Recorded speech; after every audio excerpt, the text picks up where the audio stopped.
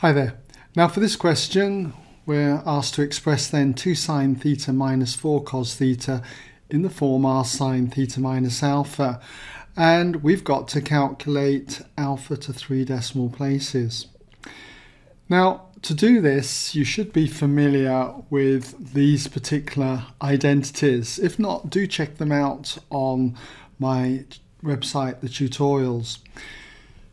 And you'll notice that the one that we've got here, 2 sine theta minus 4 cos theta, corresponds to this second one here.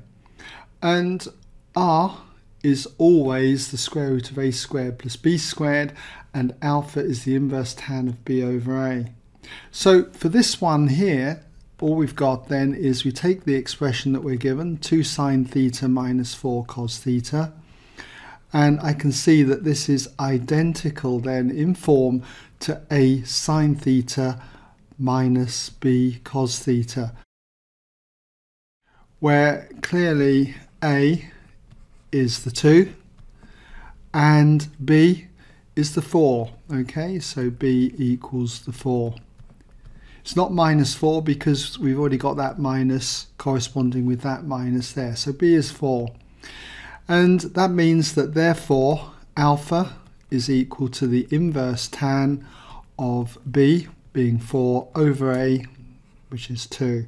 So in other words alpha equals the inverse tan of 2. And if you work that out, make sure that you're in radians mode on your calculator. You should find that alpha turns out to be equal to 1.1071 and so on radians. And we've got to give it to three decimal places, so therefore alpha equals 1.107 to three decimal places, 3 dp for short.